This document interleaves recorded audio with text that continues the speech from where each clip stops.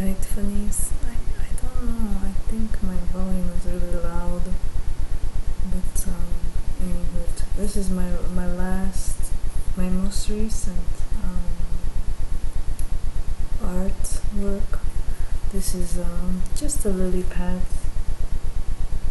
No frogs, just lily pads. it's kind of fun, a funny one. Trian, trian. I kind of like it. It's very, uh,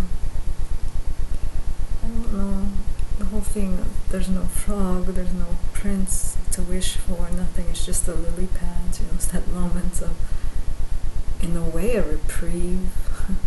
there's no expectation of that frog kissing and all of that. It's, um, it's just the lily pads, and they're kind of lily pads.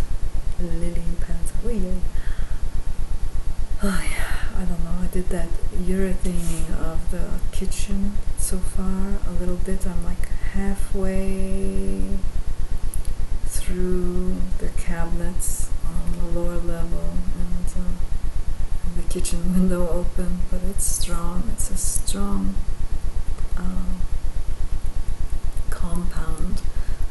Um, I just read that they have discovered a bacteria uh, that'll polyurethane. So in a way, that's good because that's all the plastics in all of the in the landfills. So they have something that's going to gobble them up.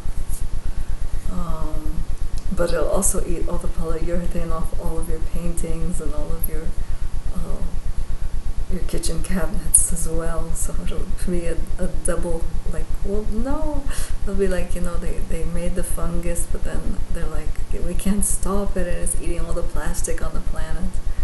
And so we'll be, all, all of our plastic will, will die of a terrible black death. And uh, it'll be like, well, we went Voc for nothing, you know, we didn't have to. the, the bacteria just just took the world, you know. Anyway, that's it, short and sweet. Little tiny one. Little tiny one.